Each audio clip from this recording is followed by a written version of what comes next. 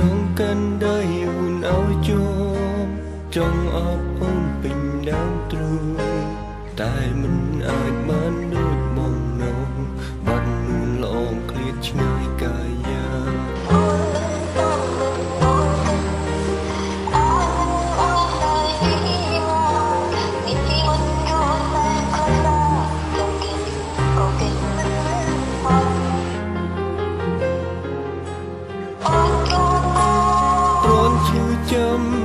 ត់លឿនពេក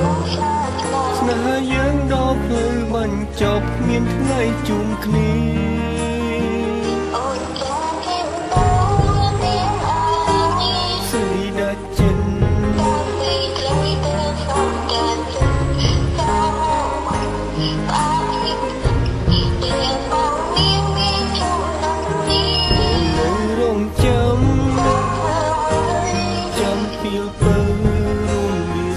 ស្នាទូបីអូនខ្លាយជាវ័យពុំងារ